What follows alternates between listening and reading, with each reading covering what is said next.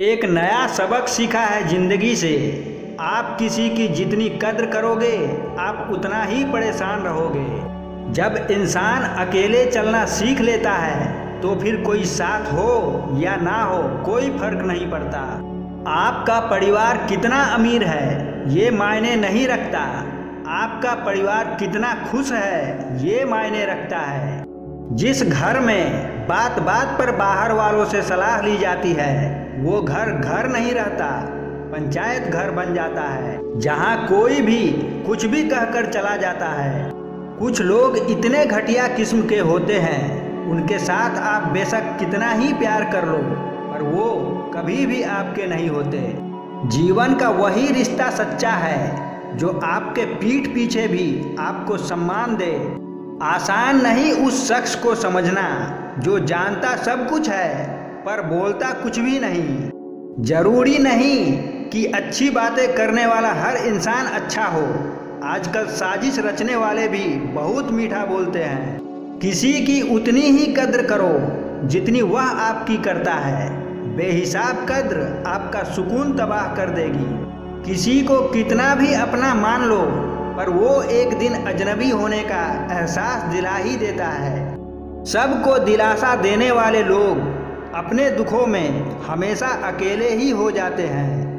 जब वक्त अच्छा चल रहा होता है, तब नफरत करने वाले भी चाहने लगते हैं। और जब वक्त बुरा चलता है, तब आपके चाहने वाले भी नफरत करने लगते हैं। एक दूसरे के लिए जीना ही ज़िंदगी है।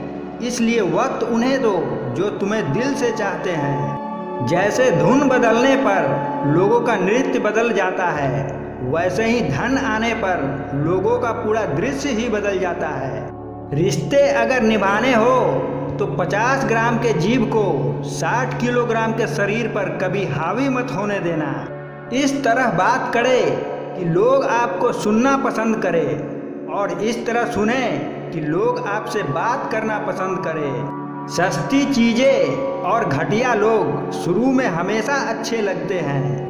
पहचान बड़े लोगों के साथ नहीं, साथ देने वाले लोगों के साथ होनी चाहिए। ज़िंदगी ने एक बात सिखाई है, दोस्ती करो या प्यार करो, लेकिन हद से ज़्यादा उम्मीद किसी से मत करो। अच्छा इंसान कभी भी मतलबी नहीं होता, बस वह दूर हो जाता है उन लोगों से जिन्हें उनकी कदर नहीं होती। अक्सर उन्हीं लोगों के दिल टूटते हैं, जो हमेशा दूसरों का दिल रखने की कोशिश करते हैं। हालात चाहे जैसे भी हो, डटे रहो, क्योंकि सही समय आने पर खट्टी केरी भी मीठे आम में बदल जाती है। बात थोड़ी कड़वी है, लेकिन सच्ची है। इस दुनिया में जो दर्द छुपाना सीख गया, वह सच में जीना सीख गया। जीवन के इस सफ़र में हम उसी दिन बड़े हो जाते हैं, जब अपने आँसू खुद ही पोछकर फिर से खड़े हो जाते हैं। ज़िंदगी में कुछ अच्छे दोस्तों का होना भी ज़रूरी है क्योंकि हर वक्त मोहब्बत साथ नहीं देती। दुनिया में सबसे तेज रफ्तार दुआओं की होती है, जो ज़ुबान तक पहुँचने से पहले ही ईश्वर तक पहुँच जाती है।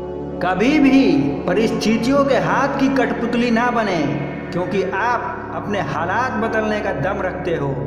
ज़िंदगी संवारने को तो ज़िंदगी पड़ी है, वो लम्हा संवार लो जहाँ ज़िंदगी खड़ी है। हर इंसान में कोई न कोई प्रतिभा ज़रूर होती है, लेकिन लोग इसे दूसरे जैसा बनने में नष्ट कर देते हैं। ऊंचाई पर वो ही पहुँचते हैं, जो प्रतिशोध के बजाय परिवर्तन की सोच रखते हैं। अपने आज को यह सोचकर बर्बाद मत करो कि मेरे पास बहुत सारे कल हैं।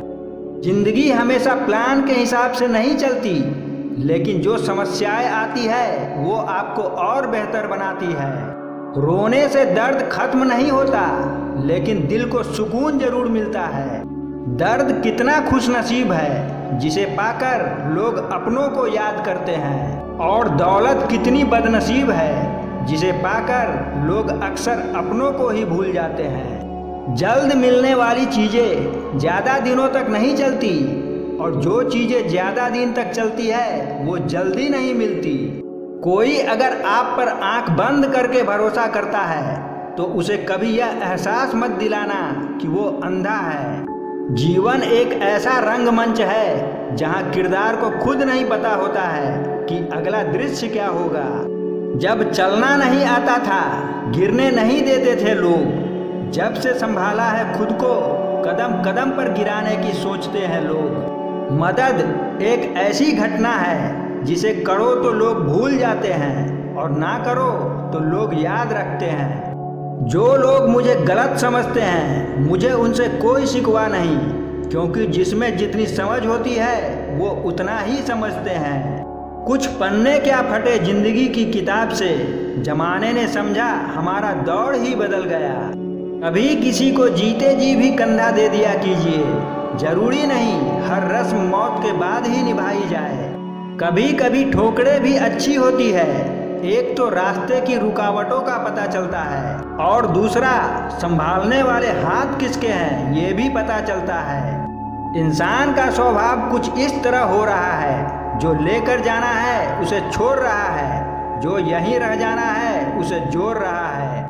ज़िंदगी में कामयाब होने के लिए एक बात हमेशा याद रखना, पाँव भले ही फिसल जाए, पर ज़ुबान को कभी फिसलने मत देना। क्योंकि पंछी अपने पाँव के कारण जाल में फंसते हैं, परंतु मनुष्य अपने ज़ुबान के कारण